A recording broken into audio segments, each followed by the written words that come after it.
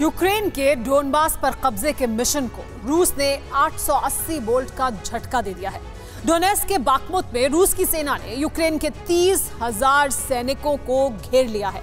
Ukraine के सैनिकों के पास सिर्फ़ पीछे लौटने का रास्ता ही बचा है। रूस के जनरल वॉर प्लान को बदलते हुए सामने से अटैक करने की जगह एक सेमी सर्कुलर घेरा तैयार कर चुके हैं, जिसकी वजह से यूक्रेन के सैनिक एक खास पॉइंट पर फंस गए हैं। और अब रूस ड्रोन और आर्टिलरी से घातक हमले कर रहा है। यूक्रेन से तबाही की ऐसी जली हुई तस्वीरें सामने आ रही हैं। तुलना वर्ल्ड वॉर से की जाने लगी है। बाजी पलट चुकी है।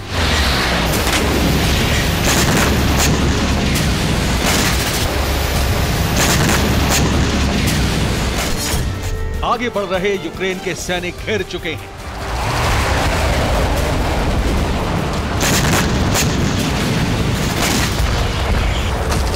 ये सिर्फ़ एक छोटे से बेडरूम से मशरूम की खेती करके महीने का पचास हज़ार कमा रही हैं। मशरूम खेती सीखनी है? तो फ्रीडम ऐप को अभी डाउनलोड कीजिए।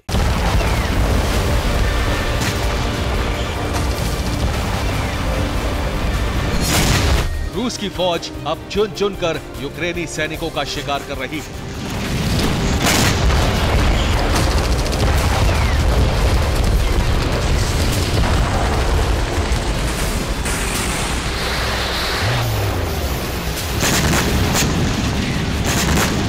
ऐसी जंग चल रही है कि एक्सपर्ट्स इसे रूस यूक्रेन युद्ध का सबसे क्रूर और घातक चैप्टर बता रहे हैं।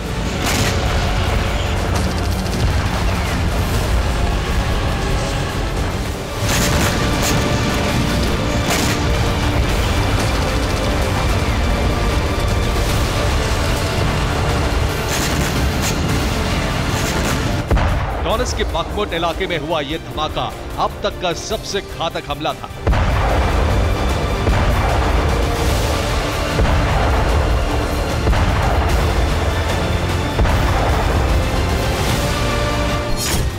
वायुसेना ने यहाँ 500 किलो का बम गिराया। अनुमान लगाया जा रहा है कि जंगल के बीच ये जगह यूक्रेन के सैनिकों का बेस रहा होगा या फिर हथियारों का गोदाम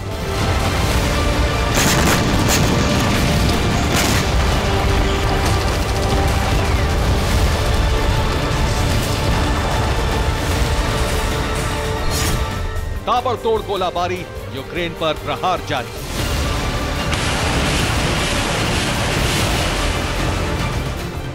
ये रूस का बी ट्वेंटी वन ग्रैड है। रूस के सैनिकों को बखमुट में यूक्रेन के सैनिकों की पोजीशन की पूरी जानकारी अब इस मल्टी रॉकेट लॉन्चर से उसी ठिकाने पर लगातार गोलाबारी की जा रही है।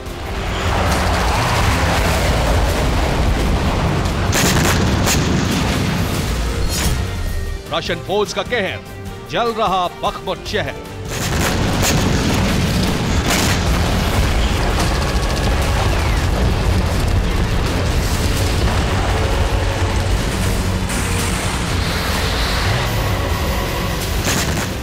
अब रूस के प्रहार का असर देखिए। बखमुट में यूक्रेन के सैनिकों का हाइड आउट खंडहर बन चुका है। टैंक और गाड़ियाँ जल रही हैं। इतने धमाके हुए हैं कि ज़मीन भी काली नज़र आ रही है।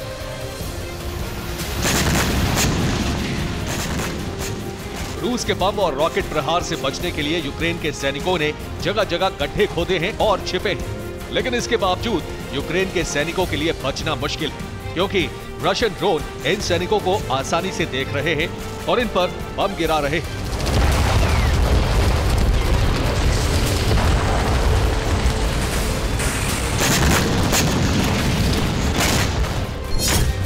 ड्रोन से बचने का इंतज़ाम, इमारतों में छिपे जवान। यूक्रेन के सैनिक ड्रोन और फाइटर प्लेन के अटैक से बचने के लिए इमारतों में छिपे हैं। देखिए कैसे एंटी एयरक्राफ्ट गन से यूक्रेन के सैनिक रशियन फाइटर प्लेन और ड्रोन पर अटैक कर रहे हैं।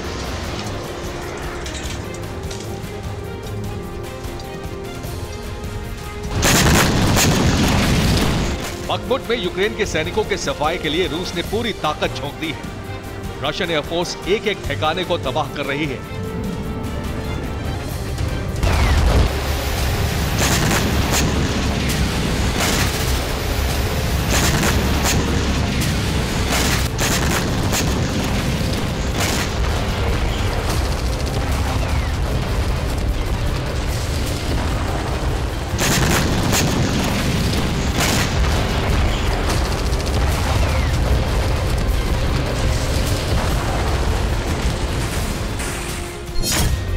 रिपोर्ट्स के मुताबिक, रूसी सुरविकिन ने युद्ध की रणनीति बदली। रूस की सेना ने सामने से हमला नहीं किया। यूक्रेन के सैनिकों को तीन तरफ़ से घेरा जा चुका है। बखमुट में यूक्रेन के करीब तीस हज़ार सैनिक घिरे हैं।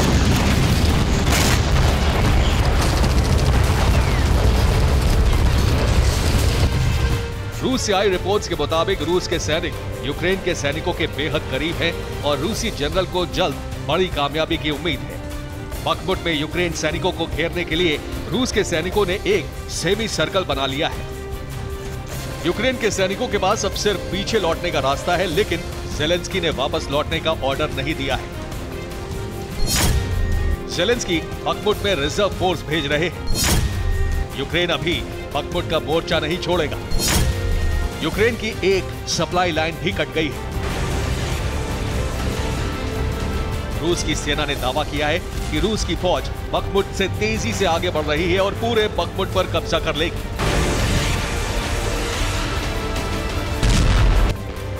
रूस की कोशिश यूक्रेन की आर्टिलरी पर कब्जा जमाने की है। रूस के कमांडर्स को उम्मीद है कि यूक्रेन की आर्टिलरी पर कब्जे के साथ यूक्रेन के सैनिक सरेंडर कर देंगे। रूस यूक्रेन के सैनिकों की सप्लाई लाइन काटने के लिए भी आगे बढ़ रहा है। कोशिश है कि बखमुट में यूक्रेन के सैनिकों तक हथियार ना पहुँच सके। बखमुट में यूक्रेन के सैनिकों तक हथियार पहुँचने के तीन रास्ते हैं, जिसमें से दक्षिणी इलाके के रास्ते को रूस के सैनिकों ने बंद कर दिया है।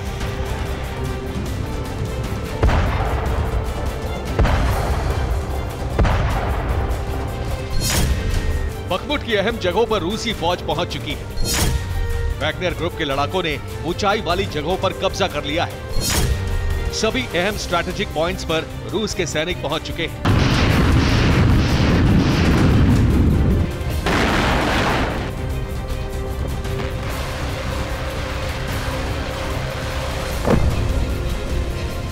लेकिन जेलेंस्की ने बड़ा जोखिम बोल लिया है। बखमुट से अपने सैनिकों को वापस बुलाने के बजाय जेलेंस्की ने युद्ध जारी रखने का फैसला किया है। रिपोर्ट्स के मुताबिक हालात बेहद खराब है। एक दिन में करीब 500 सैनिकों की मौत हो रही है। फिर भी जेलेंस्की बखमुट छोड़ने को तैयार नहीं है। हालाँकि रूस का दावा है कि एक दिन में यूक्रेन के 1500 सैनिक मारे गए हैं और 500 जख्मी हैं। ऑपरेशन मीट ग्राइंडर, यूक्रेन अब करेगा सरेंडर वैगनर ग्रुप ने मिशन बखमुट का code name operation meat grinder रखा है। नाम से ही ज़ाहिर है कि वैगनर ग्रुप चारों ओर से घेर कर हमला करने की प्लानिंग के साथ आगे बढ़ रहा है। उम्मीद की जा रही है कि खोंखार वैगनर ग्रुप इस इलाके में यूक्रेन के सभी तीस हज़ार जवानों की हत्या कर देगा। अगर ऐसा हुआ तो ये यूक्रेन के लिए बहुत बड़ा नुकसान होगा। रूस की आर्मी ने कहा है कि मिशन सिर्फ़ बखमुट पर कब्जे का नहीं है।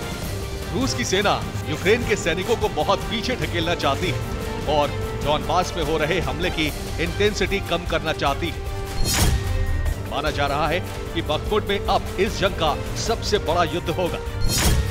नौ महीने की जंग में सबसे अधिक मौत यही हो सकती है। खैरसौन में हार के बाद रूस की सेना इसी कामयाबी के लिए बेचैन है। यही वजह है कि बखमुट की ज़मीन अब काली नज़र आ रही है। जेलेंस्की के क्रीमिया मिशन के ऐलान के बाद से पुतिन ने डॉनबास में भारी अटैक करने का ऑर्डर दिया था, जिसका असर अब दिखने लगा है। फ़िलहाल, नेटो देशों से घातक हथियारों की सप्लाई जारी है उम्मीद की जा रही है कि बागमुट में यूक्रेन के सैनिकों तक जल्द ऐसे हथियार पहुँचाए जाएँगे, जिससे बाजी पलट सके और क्रीमिया मिशन के लिए डॉनबास में यूक्रेन को जीत मिल सके। Bureau report, TV nine Bharatvarsh ये सिर्फ़ एक छोटे से बेडरूम से मशरूम की खेती करके महीने का पचास हज़ार कमा रही हैं। मशरूम खेती सीखनी है? तो फ्रीडम ऐप को अभी डाउनलोड कीजिए।